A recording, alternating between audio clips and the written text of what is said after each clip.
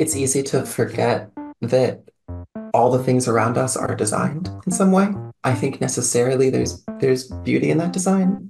Hydrants are a version of that. I made the switch from Android to iPhone specifically for Polycam. The idea of capturing 3D objects for digital usage was so immediately compelling to me. Truly, like the thing that Polycam fulfills for me is that Polycam is one of the many ways that I get to treat my life like a Banjo Kazooie game. I can like create a number of scavenger hunts in the world that have been set up for anyone, but I'm taking advantage of them. And hydrants are, are one of those. It's just like a way to inject a sense of the hunt into everyday life. I think that, that once you like create games for yourself in the world and like the ways that you interact with the world, places you go and things you do start feeling designed or start feeling like like tailor made for you.